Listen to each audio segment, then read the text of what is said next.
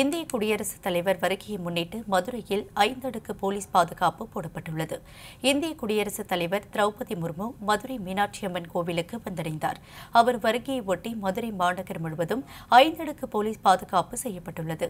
மகா சிவராத்திரியை முன்னிட்டு கோயம்புத்தூரில் உள்ள ஈஷா யோகா மையத்தில் நடைபெறும் சிவராத்திரி விழாவில் பங்கேற்பதற்காக இந்திய குடியரசுத் தலைவர் திரௌபதி முர்மு இரண்டு நாள் பயணமாக தமிழகத்திற்கு வருகை தந்தார். முன்னதாக இன்று நண்பகல் மதுரை விமான நிலையம் வந்த அவர் மீனாட்சி அம்மன் கோவிலில் சாமி தரிசனம் செய்தார். பிறகு மதுரை விமான நிலையத்தில் இருந்து ஆகாய மார்க்கமாக கோவை செல்கிறார். குடியரசுத் தலைவர் வருகையை முன்னிட்டு மதுரை விமான நிலையத்திற்கு செல்லும் வாகனங்கள் மாற்று வழியில் இயக்கப்படுகின்றன.